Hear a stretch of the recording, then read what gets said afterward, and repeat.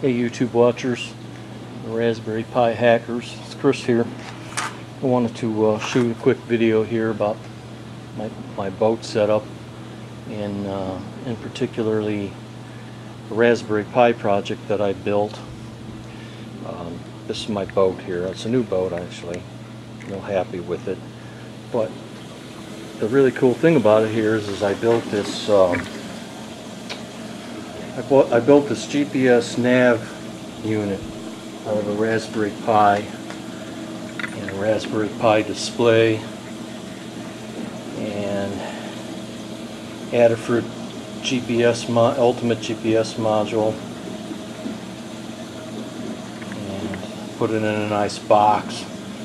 So uh, turn it on. It has a MoPower UPS inside of it too let her boot up here. I'm going to show you a few features of, a few interesting features about it. Alright,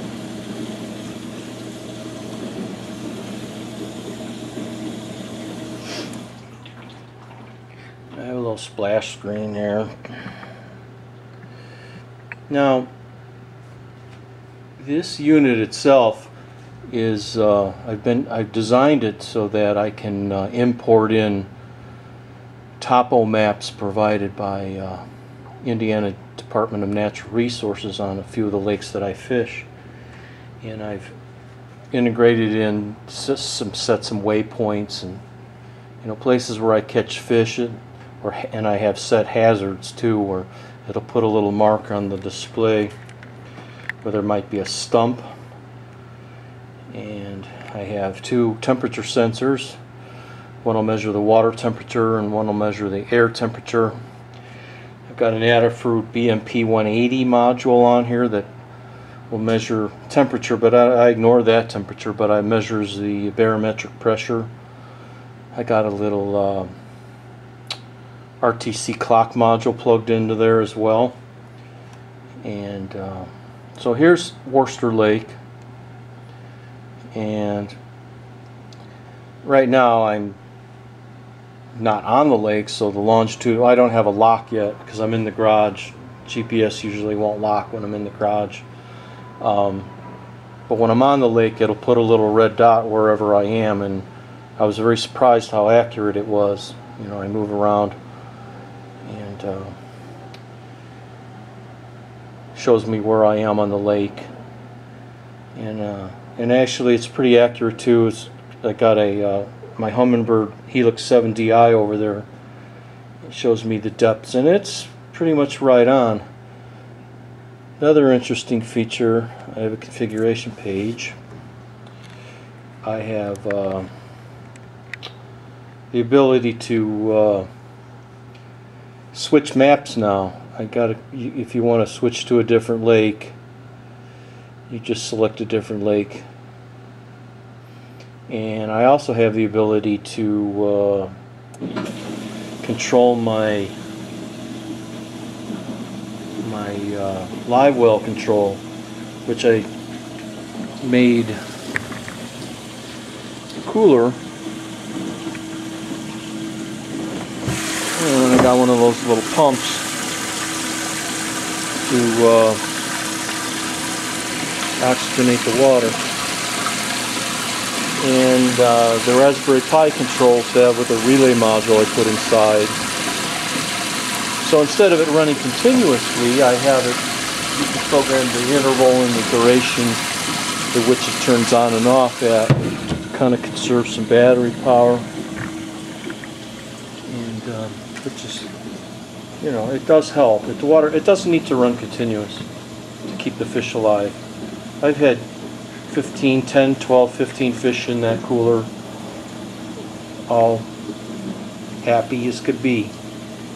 And uh, over here I got, if, I, if I'm on a lake and I need to tweak some of the map geometry, the algorithm in there that converts the GPS coordinates to X and Y Cartesian coordinates from like a capture from Google Earth you need to know longitude left and right and longitude latitude bottom and then the map size in pixels. You can tweak the longitude values and the latitude values, if you're off a little bit, you know, you I capture the map as an image, and usually it's from the DNR website. It's a PDF file. That's the topo map of the lake, and then I then I go to Google Earth and I find those those uh, coordinates as best I can from features that are common within both pictures. You know, a lot of times you don't have something that's common, so you have to guess. And so I can tweak them here, and then I have a keypad. If I'm on the lake, I can I can tweak those values. But so far, they're pretty damn close. And then I can turn the pump off. And then over here, I got the geek stuff. You know, I'm I'm showing the uh, you know what what the the Raspberry this is a Raspberry Pi 3 in here and how much it's running and you know how much it's in turbo. It's 1 point gig. I I tried to overclock this one a little bit but it tends to hang if I overclock it too high. Shows me my temp. Shows me my battery voltage from my uh, from my battery down there. And then I got my my Minn Kota 55 pounds of thrust trolling motor pushed me along and I built a nice mount here. Scotty products are really nice. And uh, you know just there's my about screen and and like uh, now if I want to change the lake I want to change the north I want to charge to change to uh, Pleasant Lake. So then you have to reboot the uh, I'm gonna fix that. You have to restart the program. So now in the background here you see oh I didn't I didn't save it. You gotta hit save. Pleasant Lake save. Exit. There's the program. Starter back up. I've been having trouble with the touch screen sensitivity been fiddling with that a little bit. And now here's Pleasant Lake's topo map and etc and I have the ability to do a to capture a log like a trip log and like every I think it's every 10 minutes it captures all the data it can. And I was thinking about putting a um, a playback function at a later date.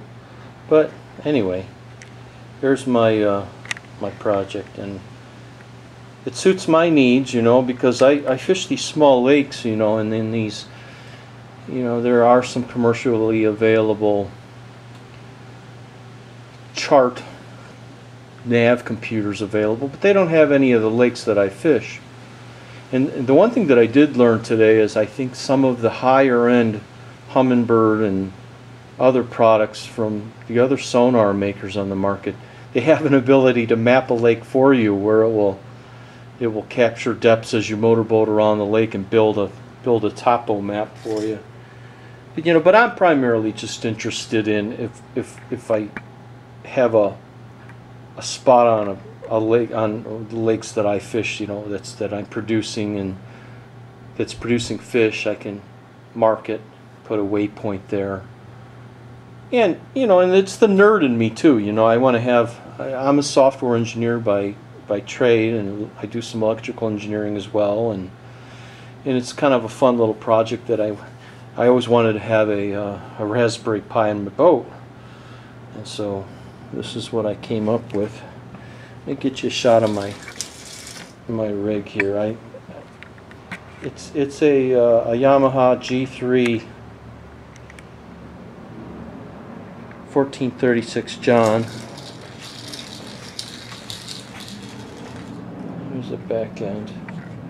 It's like Command Central in the back. But there she is. I love fishing in her, me and my buddy. We go all the time. So, thanks for watching.